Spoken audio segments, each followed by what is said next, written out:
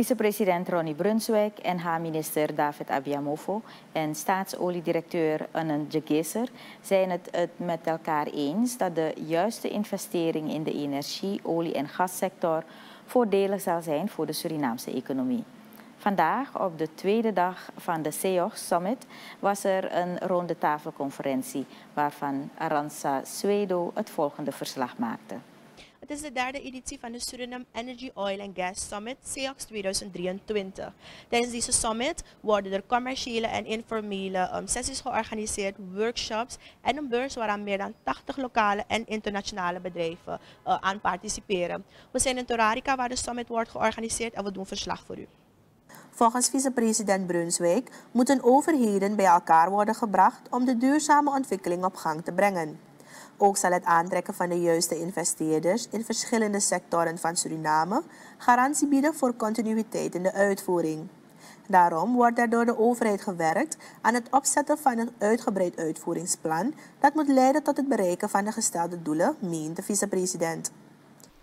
Het is cruciaal dat Suriname takes advantage over the industrial achievement and build a strong and trustworthy reputation with standard operating procedures, procedures attracting global talent, investing in the right training for our local and providing a strong service supply at a realistic price. Moreover, Suriname has exciting opportunities for possible new investors. Aan de hand van het uitgeschreven beleid zal er worden gewerkt aan het duurzaam ontwikkelen van elke sector die in lijn staat met energie, olie en gas, zeggen minister Abia Mufo en staatsoliedirecteur Jagisser. De staatsolietopman benadrukt dat bij het verder tot ontwikkeling brengen van de energie, olie en gassector er moet worden gelet op het behoud van cultuur en het gezond houden van het milieu. I want to bring to your attention that Suriname has more than four decades experience in producing oil from its onshore oil fields. And uh, we are also refining the crude into end products which are available at uh, local gas stations.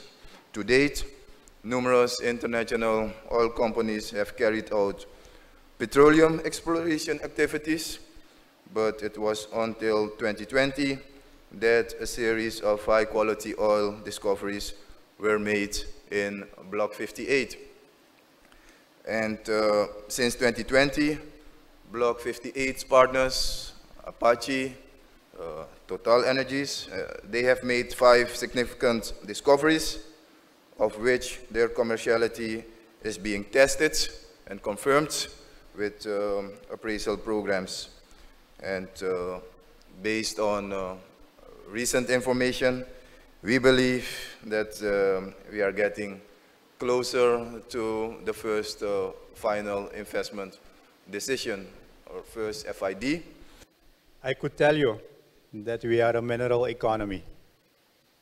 And we have some large projects in Suriname.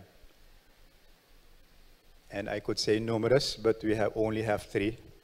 So, but they're big earners. And that makes our economy very uh, sensitive to hiccups and world market price. We have to have more companies in this, uh, in this country. But today I'm going to tell you a little bit different story. And it's, it's maybe not directly related to uh, oil and gas, but we are getting there and people are asking us to look at it and take care of uh, things to come. So I'm going to tell you that we have beautiful people and beautiful culture in our country. And we need to take care of that. Beautiful buildings. Historic, so not undebatable, but nevertheless very beautiful and attractive. And at the right side, right upper side, you can see a synagogue and a mosque side by side.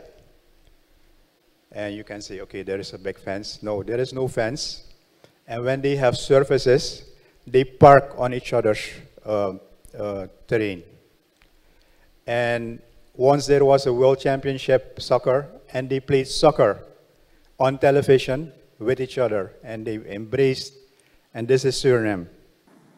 De ronde tafelconferentie werd afgesloten met een informele netwerksessie.